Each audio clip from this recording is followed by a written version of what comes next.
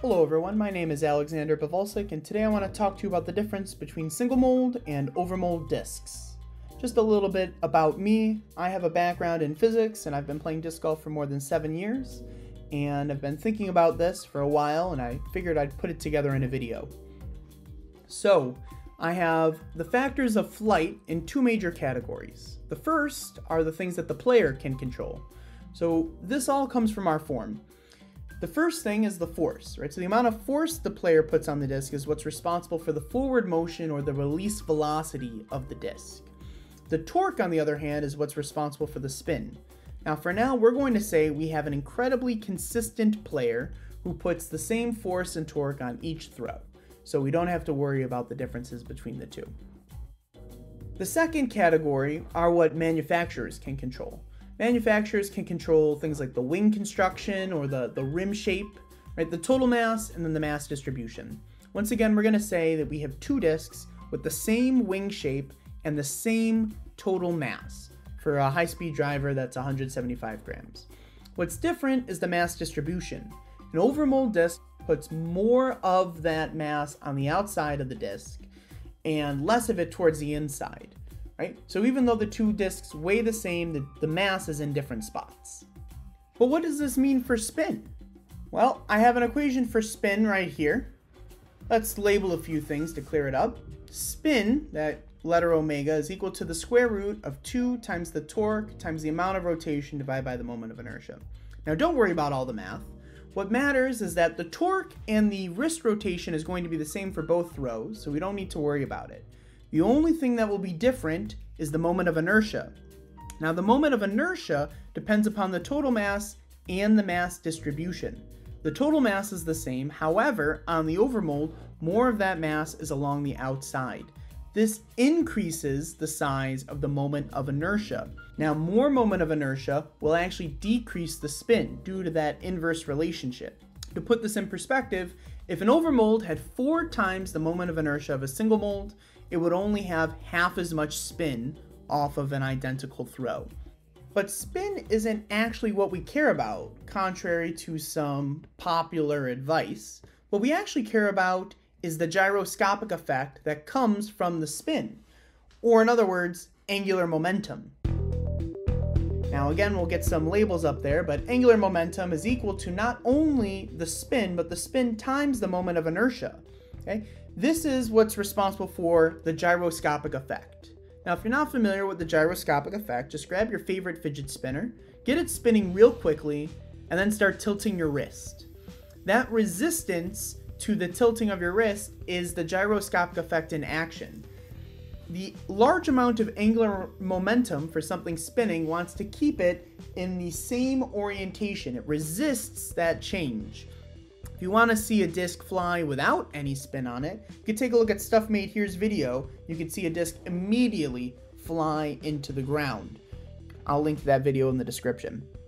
Now, angular momentum uh, depends on both moment of inertia and spin. If I use my equation for spin on the left, we can see that the amount of angular momentum now has a direct relationship with the moment of inertia. In other words, the more moment of inertia that I put on the disk, the more angular momentum it'll get. Now, having more angular momentum leads to two things. It leads to overmolds spinning longer and flatter than single molds.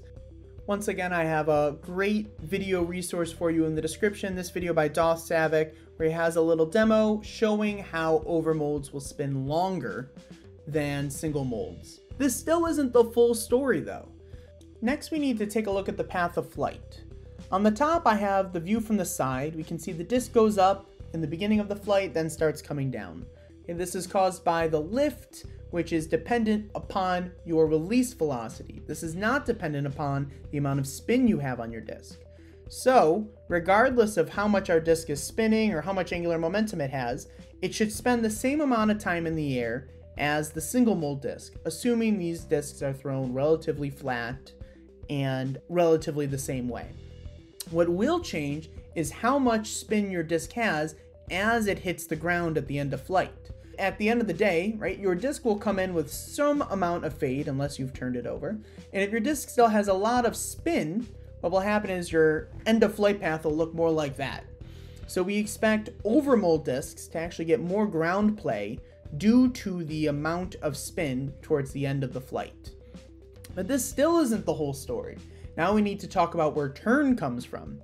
So, the lift that a disk experiences actually happens at the back of the disk. This is worth an entire video of its own as to how this works, but for now, we will take the lift coming from the back. This is like you pushing up on a piece of the disk in the back. However, that piece is also moving to the side.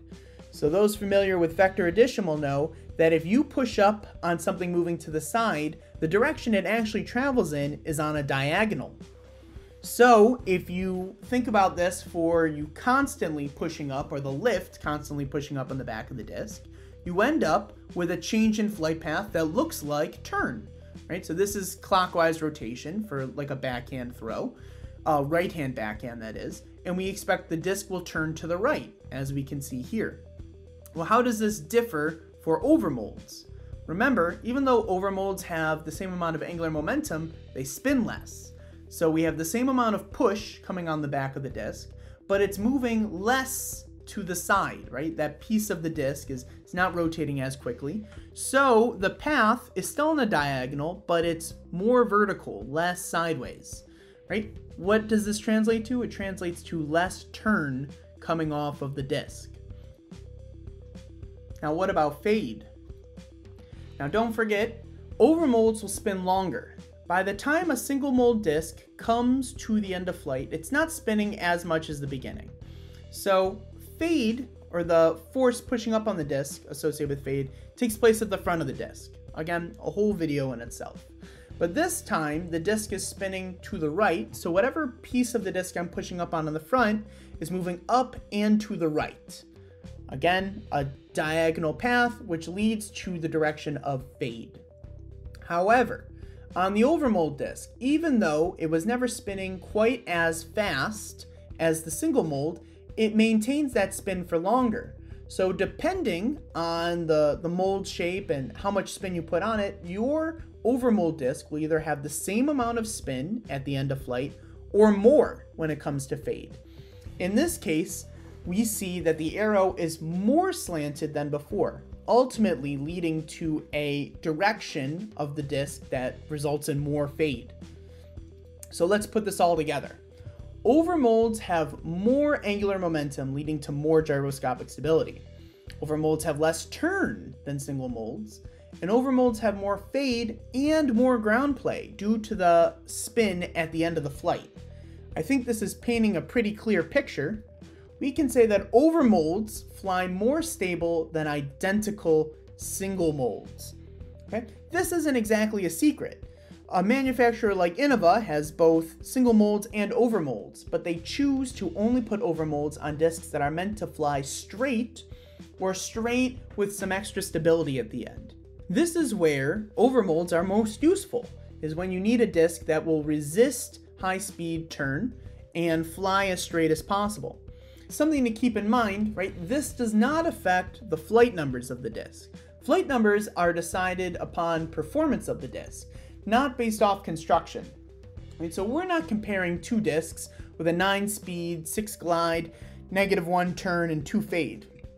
We're comparing two disks that have the same wing shape and the same total mass. Ultimately, the overmold disk with the same wing shape should have different flight numbers than the single mold.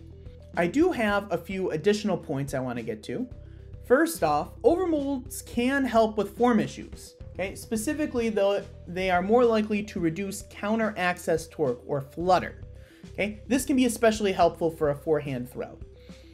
Also, overmolds can reduce release velocity on forehands. So depending on how good your form is, an overmold can be very beneficial for reducing that counter axis torque, or if you do have a, a smooth release, the overmold may impact your release velocity, ultimately costing you some distance. All in all, I hope you enjoyed the video. I do have some special thanks to these people for making some great videos to get my mind working on this, and uh, I really hope you check those out as well. Let me know if you enjoyed the video. Perhaps I could do some more in the future, and uh, good luck out on the course.